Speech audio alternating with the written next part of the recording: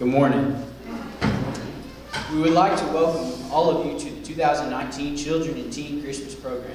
Please feel free to move around so you can see and take pictures. We pray you receive a blessing from our version, The Story of the First Christmas.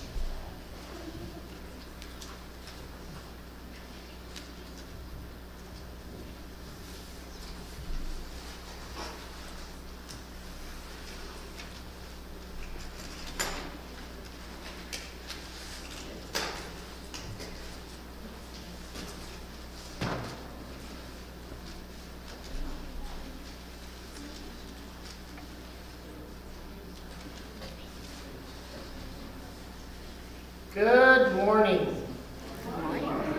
Wow, look at all these people who came here to see me. No, TJ, they didn't come to see you.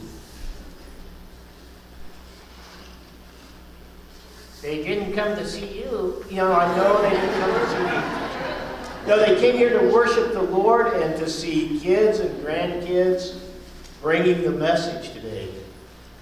So you don't get to talk? I'm, I'm not going to say much today. Praise the Lord. We can get out of here before the beans burn.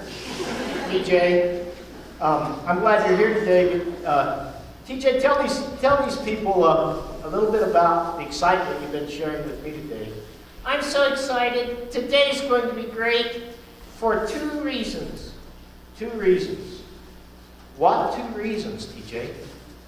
Well, our, our worship leader kind of lost her voice, so I get to lead the singing. No, TJ, you're not leading the singing. You're not leading the singing. No, I'm not leading the singing. Good thing. If everybody left at once, somebody would get hurt. Okay, TJ, but you're not leading the singing. Yes, I want to. Wait a minute. I, I have a song. Grandma got ran over. TJ, you're not leading, you're not leading the singing. So what's the other reason you were excited? Because you are not going to lead the singing. All, all my family's here. All of my cousins, my aunts, my uncles, they're all here. They're all here? Yes. And, and you knew I'm made out of wood. Yeah, I know you're made out of wood. So this is my family tree. That, that's kind of a family joke. Okay, TJ, I know that's a family joke. But they're going to lead us in our first song, right? They're your cousins?